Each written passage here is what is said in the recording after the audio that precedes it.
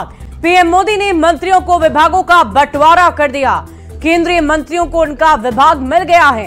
अमित शाह को गृह मंत्रालय, एस जयशंकर को विदेश मंत्रालय, राजनाथ सिंह को रक्षा मंत्रालय, निर्मला सीतारमण को वित्त मंत्रालय दिया गया है।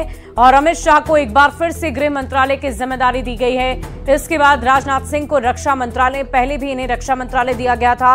एस जयशंकर को भी पहले विदेश मंत्रालय की ज़िम्मेदारी दी गई थी। और एक बार फिर से वही मंत्रालय, उनके नाम है निर्मला सीतारमण को भी वित्त मंत्रालय दोबारा दिया गया है। नितिन गडकरी की बात करें तो इन्हें भी सड़क और परिवहन मंत्रालय दोबारा दिया गया है।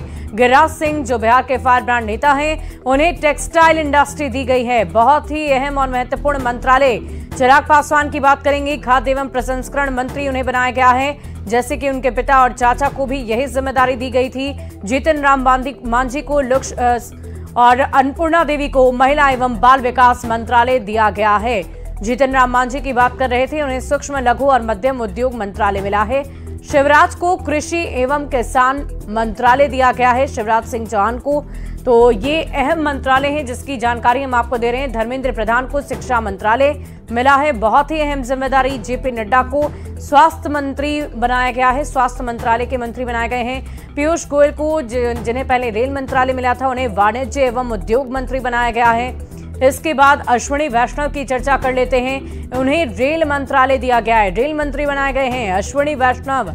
ललन सिंह, जो कि बिहार से हैं, उन्हें बहुत महत्वपूर्ण ज़िम्मेदारी पंचायती राज मंत्री उन्हें बनाया गया है। नित्यानंद राय की बात कर लेते हैं। पहले भी गृह राज्य मंत्री थे, एक बार फिर से इन्हें गृह राज्य मंत्री बनाया गया है। रामनाथ ठाकुर, जो बिहार से हैं, कृषि राज्य मंत्री बनाया गया है। तो बिहार के लिए बहुत सारी महत्वपूर्ण जिम्मेदारियाँ बिहार के मंत्रियों को झारखंड से संजय सेठ, रांची से इस बार लोकसभा का चुनाव जीता, रक्षा राज्य मंत्री इन्हें बनाया गया है। इसके बाद सतीश चंद्र दुबे की बात करें तो कोयला एवं खनन राज्य मंत्री इन्हें बनाया गया है।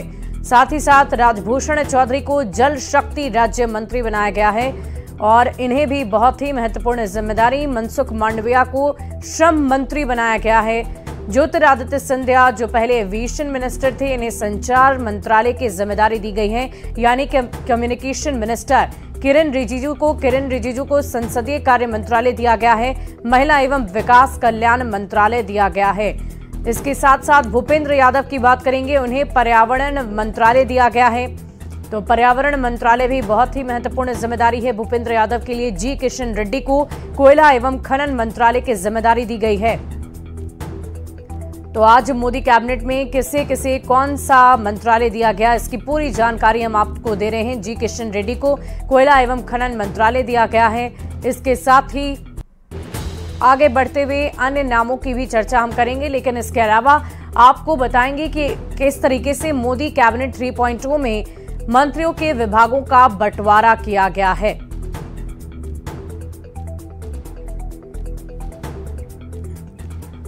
और चलिए मोदी 3.2 में कैसे मंत्रियों को विभागों का बंटवारा हुआ, उसकी पूरी जानकारी आपको देते हैं। इस खबर को समझाते हैं। अमित शाह फिर से गृह मंत्री बनाए गए हैं। गृह मंत्री का पद प्रधानमंत्री के बाद दूसरे नंबर का सबसे महत्वपूर्ण, सबसे बड़ा पद माना जाता है।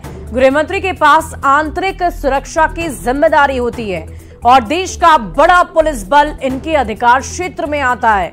नितिन गडकरी को सड़क एवं परिवहन मंत्रालय दिया गया है। अजय टमटा और हर्ष मल्होत्रा सड़क परिवहन राज्य मंत्री, एस जयशंकर को विदेश मंत्रालय पहले भी दिया गया था, एक बार फिर दिया गया है।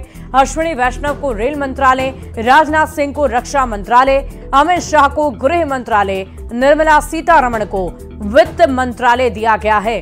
तो आप ये समझ सकते हैं कि ये बहुत सारी अहम जिम्मेदारियाँ इन मंत्रालयों में इन मंत्रियों को दी गई हैं और अमित शाह फिर से गृह मंत्री बने हैं। गृह मंत्री का पद प्रधानमंत्री के बाद दूसरे नंबर का है। गृह मंत्री के पास आंतरिक सुरक्षा की ज़िम्मेदारी होती है और देश का बहुत बड़ा पुलिस बल इनके अधिकार क्षेत्र में आता है। राजनाथ सिंह की बात करें तो राजनाथ सिंह को रक्षा मंत्रालय की ज़िम्मेदारी दी गई है। राजनाथ सिंह फिर से रक्षा मंत्री बने हैं और रक्षा मंत्री रक्षा मंत्रालय के प्रमुख होते हैं। सरकार में रक्षा मंत्री का पद बहुत ही ज़्यादा विशेष, बहुत ही महत्वपूर्ण होता है। रक्षा और सुरक्षा संबंधी मामलों पर नीति निर्देश बनाना और बनाई गई नीतियों को लागू कराना इनकी महत्वपूर्ण ज़िम्मेदारी है। बिहार की अगर हम बात करेंगे तो राजीव रंजन सिंह उर्फ़ ललन सिंह की बात करेंगे, जिन्हें पंचायती राज मंत्रालय दिया गया है और मत्स्य पालन, पशुपालन और डेयरी मंत्री ये बनाए गए हैं। बिहार के नज़रिए से बहुत ही अहम मंत्रालय इसके पहले ये मंत्रालय गिरिराज सिंह के पास था।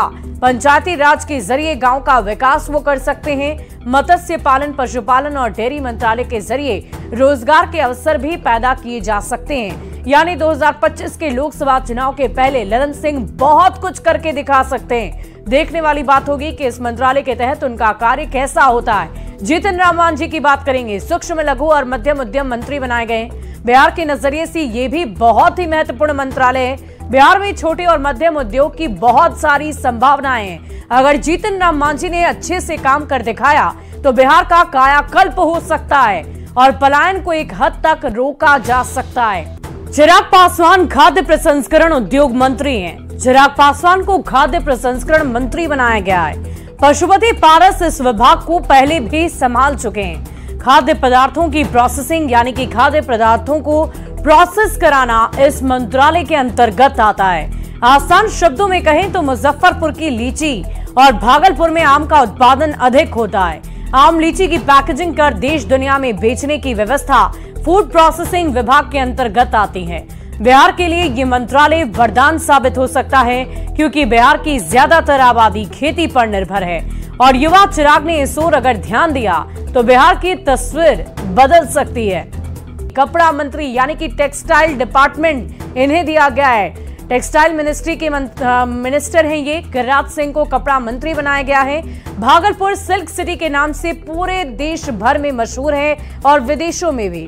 बिहार में बहुत मांग है टेक्सटाइल की और गिरिराज सिंह के मंत्री बनने से सिल्क उद्योग को बहुत बड़ा बढ़ावा मिल सकता है। और जब उद्योग बढ़ेगा तो रोज़गार के अवसर भी बढ़ेंगे और इससे बिहार का कायाकल्प भी होगा।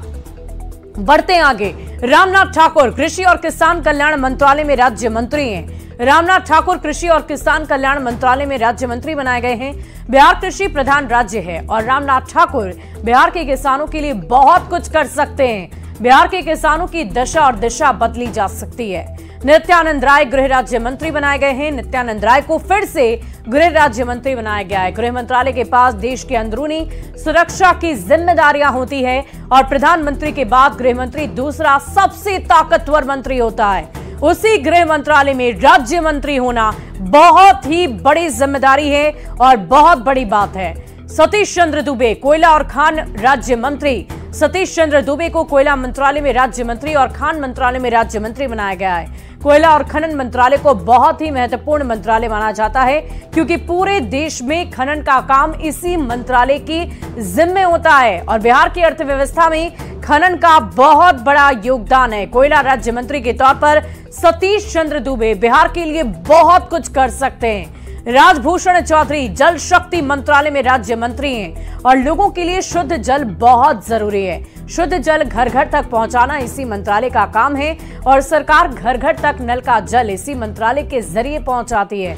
बिहार में वैसे तो नल का जल योजना चल रही है और इस मंत्रालय के ज़रिए बिहार के लोगों के लिए बहुत कुछ करने की संभावना जताई जा रही है। तो कुल मिलाकर हम समझ सकते हैं कि बहुत सारी अहम जिम्मेदारियाँ बिहार के मंत्रियों को दी गई है। देखने वाली बात होगी कि बिहार के लोगों की उम्मीदों पर ये मंत्री कितने खड़े उतरते हैं और बिहार के विकास को कहाँ तक लेकर जाते हैं।